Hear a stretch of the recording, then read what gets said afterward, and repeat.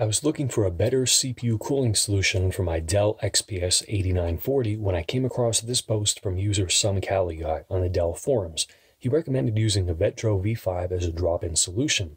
Dell uses a proprietary mounting system for the cooling device, and the Vetroo is apparently compatible with it. Let me share with you how I installed it as well as my results. This is the Vetroo V5 CPU cooler that I'll be installing in a Dell XPS 8940. It's actually going for about 25 to $30 right now on Newegg and Amazon. First, I run some tests with the stock Dell cooling solution. I'm setting turbo boost to 96 watts, and when we run a stress test at the 96 watts, we get an average of 81 degrees C.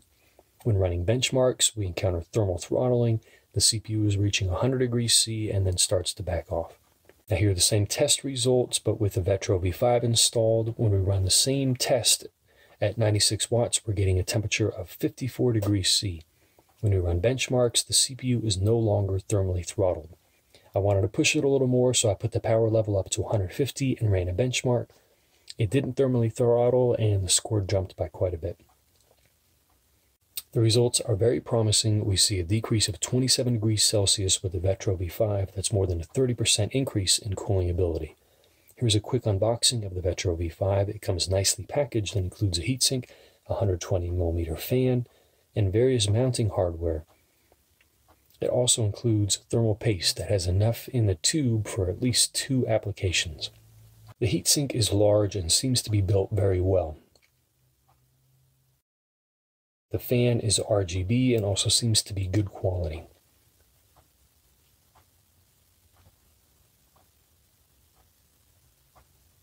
This is the stock Dell CPU cooler. It's nice and compact, but a little low on cooling performance.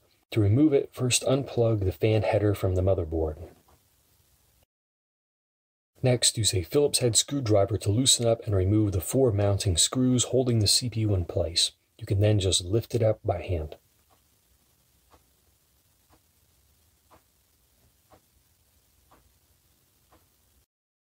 I wanted to make sure there was enough room in the case for the heatsink, so I put it in place and put the lid over it. It barely fits in there with maybe a millimeter or two of clearance. Now adjust the mounting bracket screw positions. There's a slot in the bracket and you just have to slide the screw in either direction until the screws line up with the mounting holes. Do this for both brackets and it'll make installation a lot easier. Next we attach the adjusted mounting brackets to the heatsink. Use the four small screws provided in the kit. Don't over tighten these screws as it can strip the material. Just make sure that they're snug and secure. Now is a good time to do a final fit test to make sure that the four screws line up with the holes on the motherboard. Make adjustments as necessary. We're now ready to clean up the old thermal paste. Use a high percent rubbing alcohol and make the surface shine. We need to remove the sticker from the heatsink. The surface is very well manufactured with a polished finish. Use alcohol to clean it up even more if you want to. With our surfaces prepped, it's time to put down some thermal paste. A pea-sized blob in the middle of the CPU should be all that you need. There's enough paste for two applications in the supply tube. We can finally install the heatsink.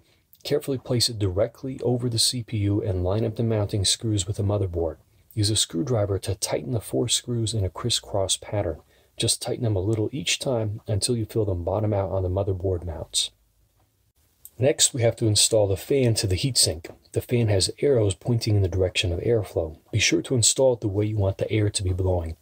Simply position the fan where you want it to be on the heatsink and use the supplied spring clips to clamp it down. Then do the same for the other side. You don't need to remove the heatsink from the computer to do this, it's just easier for me to demo it this way. Once installed, it holds together very well. Removal is easy too. Just pop off the clips and the fan can be removed.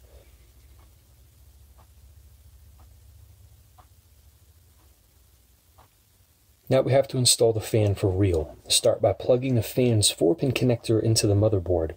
The Dell XPS does not have an RGB header, so I won't be plugging those leads into anything. With the wires connected, it's time to mount the fan to the heatsink with the spring clips. Start with the more difficult side to reach and finish with the easier one. After it's secure, do a little bit of cable management to keep loose wires from dangling around, and you're ready to put the side cover back on and power up. Overall, this is a very easy part to add to your machine, and it does a great job of dropping the temps.